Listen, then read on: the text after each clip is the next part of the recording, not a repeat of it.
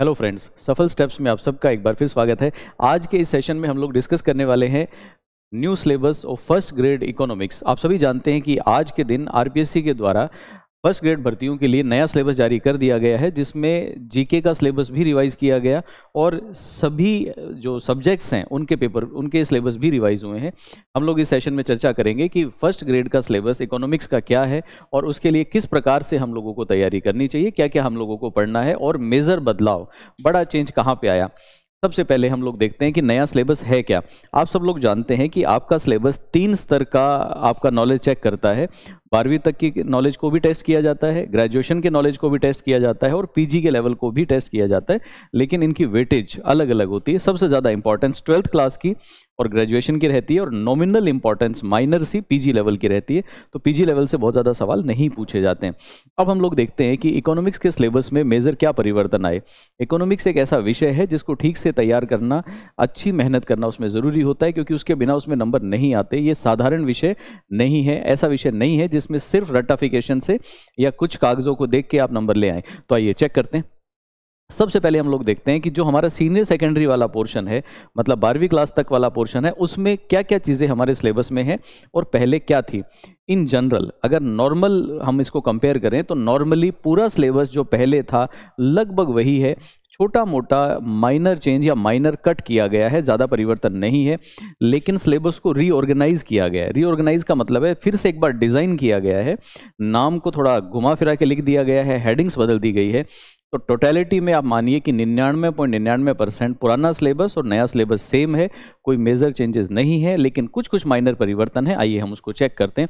जैसे, अब सेकेंडरी तक के सिलेबस को हम लोग देखेंगे, पहला चैप्टर हमारा है meaning and definition of economics central problem of economy and problem of choice economic system characteristics and functions इसका मतलब है, पहला चैप्टर ये कहता है कि हमें अर्थशास्त्र का, परिभाषा और अर्थशास्त्र का अर्थ पढ़ना है। हमें यह पढ़ना है कि अर्थव्यवस्था की केंद्रीय समस्याएँ क्या क्या होती हैं। हमें यह पढ़ना है कि सिलेक्शन की या चयन की समस्या क्या होती है और हम लोगों को यह पढ़ना है कि आर्थिक प्रणाली की विशेषताएँ क्या क्या होती हैं और उसके कार्य क्या होते हैं। ये चैप्टर हमें पढ़ना है। ये चैप्टर पहले भी था। ये देखिए, मैं पैरेलल आपको दिखाता हूँ दो हज़ार अठारह का सिलेबस 2018 के सिलेबस में बस थोड़ा सा डिफरेंट तरीके से लिखा हुआ था। जैसे meaning and definition of economics अर्थव्यवस्था का अर्थ और परिभाषा, इस टॉपिक को पहले भी रखा गया था, लेकिन ये पहले अलग टॉपिक था। सेंट्रल प्रॉब्लम ऑफ़ इकोनॉमी केंद्रीय समस्याएँ और चयन की समस्या अलग था। इकोनॉमिक सिस्टम अलग था। इसका मतलब ये तीनों के तीनों टॉपिक पहले भी थे। पहले ये तीन पॉइंट में लिखे गए थे। अब इनको हटा के और एक लाइन में लिख दिया गया है, इसका मतलब यहाँ पे कोई परिवर्तन देखने को नहीं मिल रहा।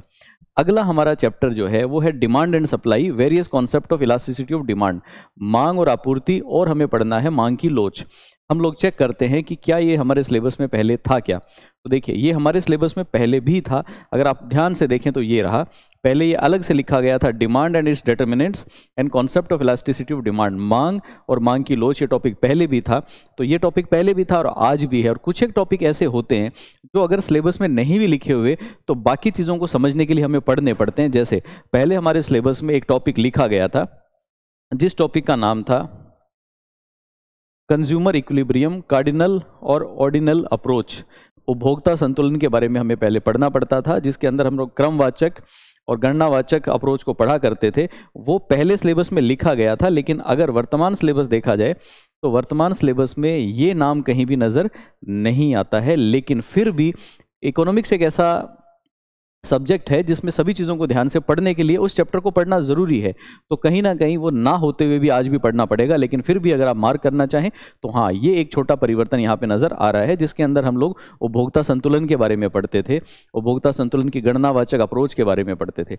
उसके बाद अगला हमारा चैप्टर है, जिसका नाम है प्रोडक्शन फ़ंक्शन उत्पादन फलन। उत्पादन फलन में हम लोग ये पढ़ते थे कि किसी भी इंडस्ट्री को, किसी उद्योग को कितना उत्पादन करना पड़ता है।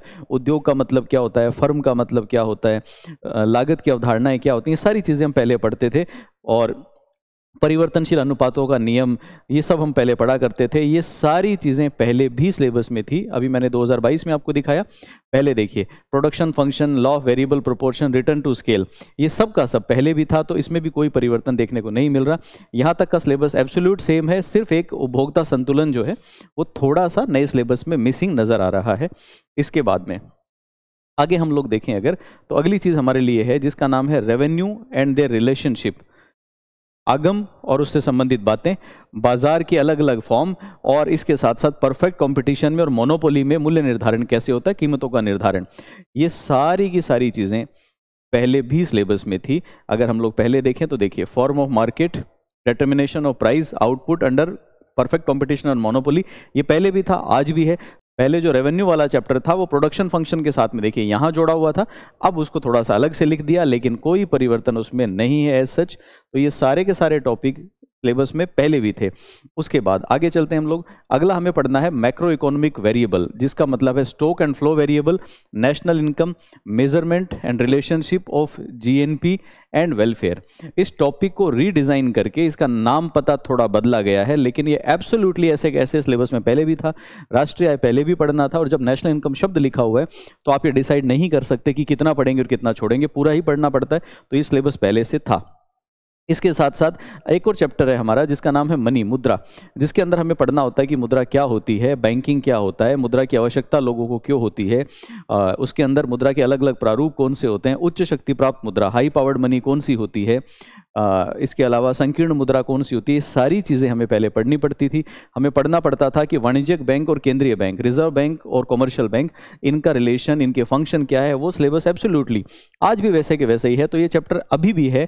बस फ़र्क सिर्फ़ इतना आ जाता है कि पहले इनको लिखने का तरीका थोड़ा डिफरेंट था।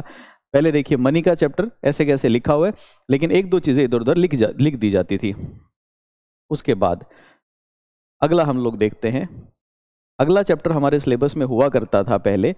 आज जो नया चैप्टर हमारे सिलेबस में है, वो है meaning and determinants of economic development problem of Indian economy poverty unemployment inequality Bharat की अर्थव्यवस्था में विकास, भारतीय अर्थव्यवस्था में समस्याएँ, गरीबी, बेरोजगारी और असमानता। ध्यान से अगर देखें तो ये चैप्टर पहले भी हमारे सिलेबस में रहे हैं। ये देखिए, ये रहा। भारत की अर्थव्यवस्था में समस्याएँ, गरीबी, बेरोजगारी और असमानता ये पहले भी था। एक अभी वहाँ पे नाम आ रहा था डेवलपमेंट। तो डेवलपमेंट का चैप्टर यहाँ नहीं, लेकिन ऊपर पहले से था, ये रहा। Meaning and determinants of economic development तो डेवलपमेंट पहले से था, इसका मतलब ये दोनों चीज़ें सिलेबस में है, इसमें किसी प्रकार का बदलाव नहीं हुआ है। उसके बाद अगला चैप्टर हमारा अभी नए सिलेबस के हिसाब से है, जिसका नाम है बैलेंस ऑफ़ पेमेंट जिसको हम बोलते हैं भुगतान संतुलन। भुगतान संतुलन का मतलब है दूसरे देशों के साथ हमारा जो लेन देन होता है, उस लेन देन में हमें डॉलर्स में या विदेशी मुद्रा में भुगतान करना पड़ता है तो हम देखते हैं कि हमारे पास कितना है, कितना कम है।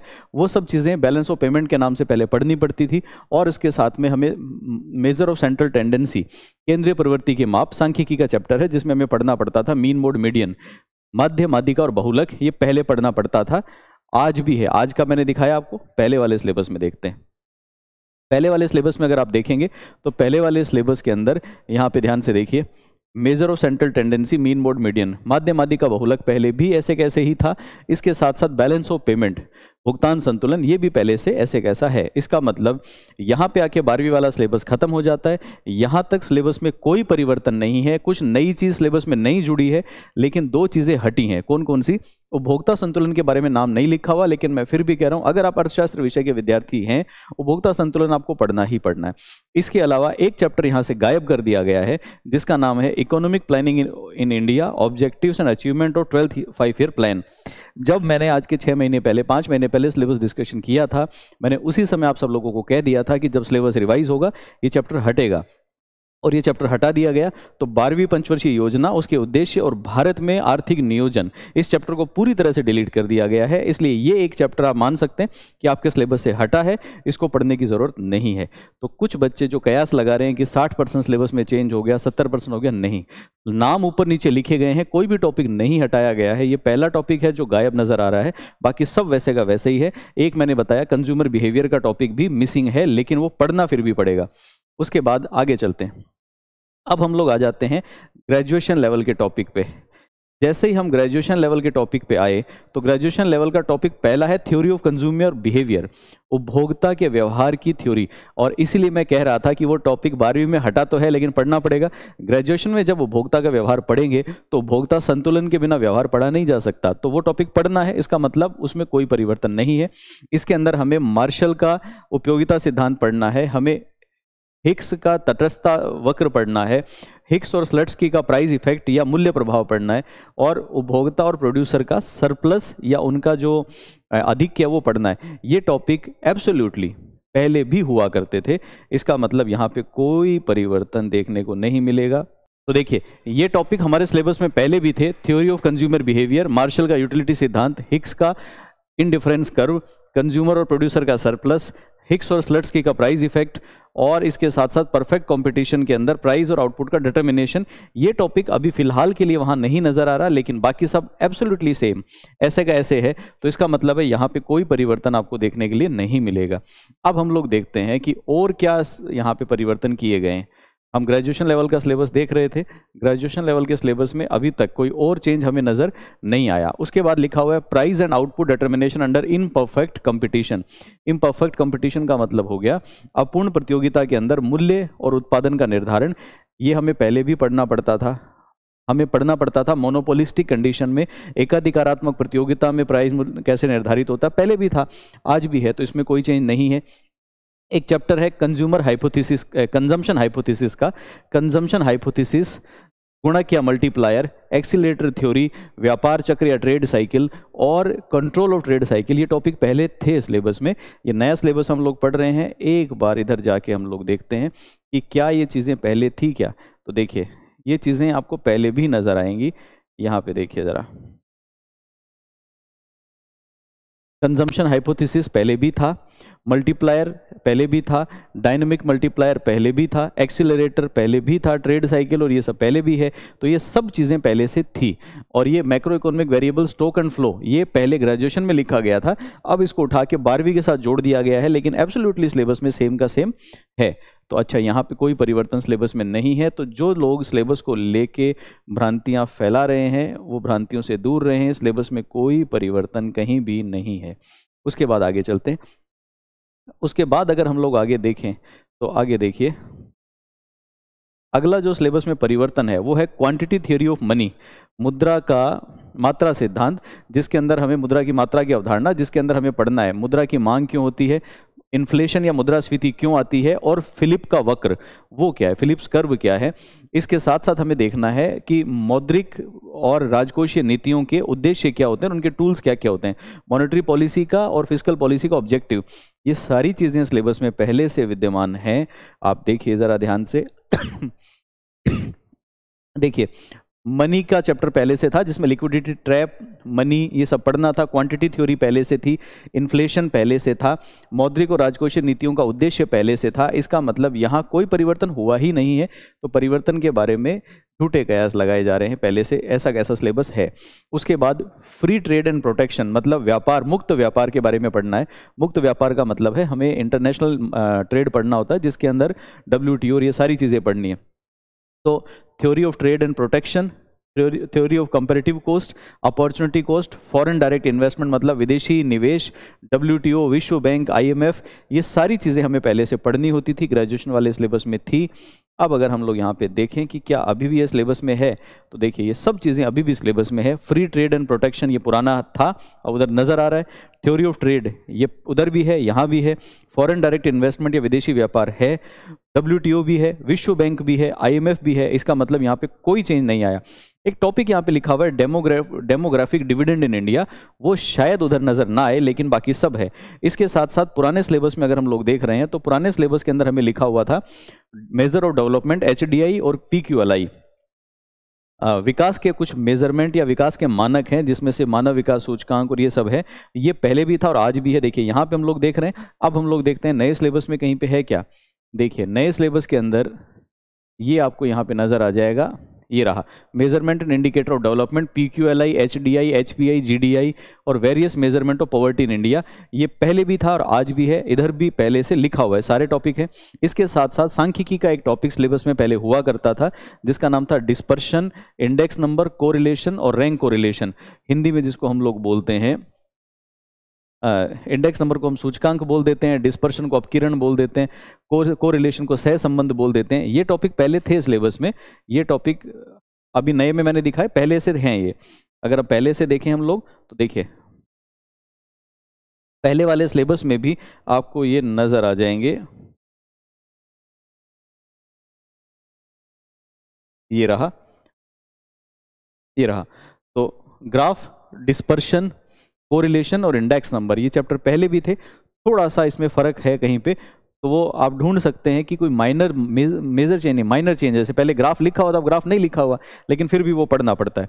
इसके साथ साथ पहले हमें गरीबी के बारे में पढ़ना था, गरीबी अभी भी पढ़ना है, फिर हमें पढ़ना है राजस्थान की अर्थव्यवस्था। राजस्थान की अर्थव्यवस्था में पहले वैरायटी के टॉपिक लिखे हुए थे टॉपिक का नाम ना पढ़ें, जब राजस्थान की अर्थव्यवस्था लिखा होता है तो राजस्थान की अर्थव्यवस्था के बारे में पूरा ही पढ़ना होता है हमें। तो हमें कंप्लीट इकोनॉमी ऑफ़ राजस्थान पढ़नी है। ये कंप्लीट इकोनॉमी ऑफ़ राजस्थान पहले थी सिलेबस में। ये मैंने आपको नया सिलेबस दिखाया, सब कुछ है। राजस्थान की अर्थव्यवस्था के अंदर राजस्थान में वन कितने हैं, पानी कितना है, जल स्रोत कितने हैं, पशुधन कैसा है S C S T backward class minority इन सब के लिए सरकार ने योजनाएँ कौन सी चला रखी हैं, किसानों के लिए कौन सी योजनाएँ हैं टूरिज़्म डेवलपमेंट की योजनाएँ कौन सी हैं?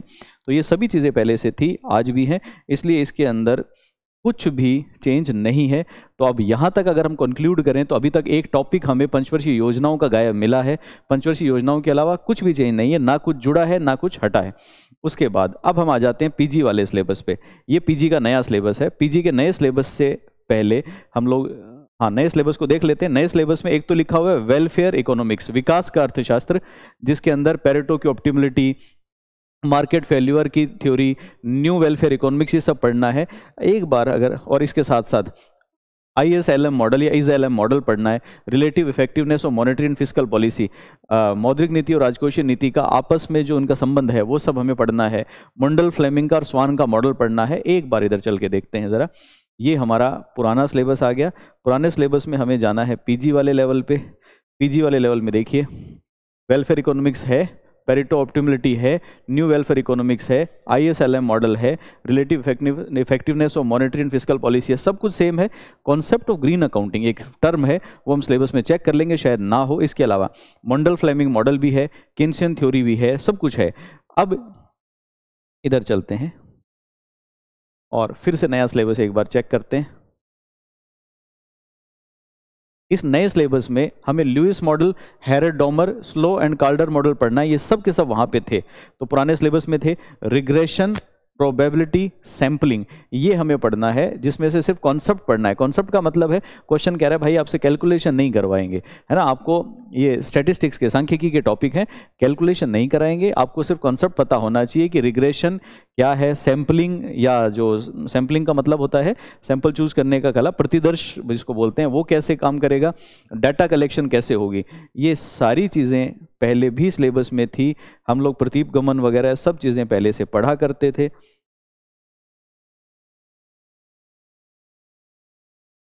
देखिए, सिलेबस में ऊपर नीचे भले ही लिखी हुई हूँ, लेकिन ये सब सिलेबस में पहले से था। तो ये तो सब हमारे सिलेबस में पहले से है। अब एक बार फिर से रिव्यू करते हैं कि और कौन सी चीज़ें बच गई। इसके अलावा हमें इकोनॉमिक रिफॉर्म्स इकोनॉमिक रिफॉर्म्स का मतलब होता है आर्थिक सुधार। आर्थिक सुधार पढ़ना था, जिसके अंदर हम लोग एलपीजी सुधार पढ़ते हैं, वैश्वीकरण निजीकरण और वैश्वीकरण, निजीकरण या फिर उदारीकरण पढ़ते थे, वो पहले भी था, आज भी पढ़ना है। इसके अलावा अब हमें पढ़ना है बजट में आने वाले घाटे। जब राजकोषीय नीति पढ़ते हैं तो बजट में आने वाले घाटे अपने आप ही पढ़ने पड़ते हैं, ये कोई विशेष अलग से टॉपिक नहीं है। जीएसटी इन इंडिया भारत में जीएसटी ये वैसे भी करंट अफेयर या जब राजकोषीय नीति पढ़ेंगे तो जीएसटी उसके बिना कैसे बच जाएगा? वो तो पढ़ना ही है। भारत में करंट फॉरेन ट्रेड पॉलिसी वर्तमान विदेश व्यापार नीति क्या है? वो पढ़ना है सिलेबस का हिस्सा है। इंटरनेशनल ट्रेड के हेक्सकर और या ऑल इन का मॉडल फैक्टर प्राइस इक्वलाइजेशन और सस्टेनेबल डेवलपमेंट तो प्रैक्टिकली सेइंग कोई भी टॉपिक आपके सिलेबस से नहीं हटाया गया है, सिर्फ़ एक चीज़ को छोड़ के, उसका नाम मैंने आपको बताया कि एक टॉपिक जो आपका पंचवर्षीय योजनाओं के बारे में होता था, उस टॉपिक को डिलीट किया गया, बाकी एब्सोल्युटली सब कुछ सेम है। नाम थोड़े थोड़े बदल दिए गए जैसे करंट ट्रेड पॉलिसी पहले भी था, है, ये ऑल इन मॉडल पहले भी था एनवायरमेंट एनवायरमेंट और डेवलपमेंट ट्रेड ऑफ़ या सस्टेनेबल डेवलपमेंट ये भी पहले से था। तो इसका मतलब है सिलेबस में किसी किस्म का कोई बदलाव नहीं है, ज़बरदस्ती की भ्रांतियाँ ना फैलाएँ, ना आप किसी के इन्फ्लुएंस में आके घबराएँ कि हमारा सिलेबस बदल गया, हमने तो तैयारी कुछ और कर ली। एक परसेंट रत्ती भर सिलेबस में चेंज नहीं है, और अगर आप किसी भी जहाँ से भी आपने तैयारी की होगी, अगर आप हम लोगों से जुड़े हुए हैं तो हम लोगों ने जानबूझ के पहले से ही पंचवर्षीय योजनाओं का टॉपिक कराया ही नहीं था पेंडिंग रखा था, और हमने हमेशा यही बोला है कि पंचवर्षीय योजनाओं का टॉपिक सिलेबस से हटेगा। तो वो टॉपिक हटा है, इसलिए आप अपनी तैयारी जारी रखें, मेहनत करते रहें, अगर अच्छी मेहनत करेंगे तो अभी भी आपके पूरे पूरे चांस हैं। मेजर फोकस, मेजर जो ध्यान है, वो बारहवीं के सिलेबस पे अपना फिक्स करें। बारहवीं का सिलेबस ठीक से पूरा करें, मैक्सिमम क्वेश्चन वहीं से आते हैं। कुछ क्वेश्चन ग्रेजुएशन के तैयार करें। पीजी वाले के लिए बहुत ज़्यादा तंग होने की ज़रूरत नहीं है, तैयार तो सभी करना है, लेकिन वहाँ पे वेटेज कम है, बहुत ज़्यादा क्वेश्चन नहीं आते तो ये सिलेबस था। इस संबंध में अगर हमारे पास और कोई जानकारी होगी तो उस पर भी हम लोग शीघ्र आपसे चर्चा करेंगे। आज के सेशन के लिए आप सबका बहुत बहुत धन्यवाद। Thanks a lot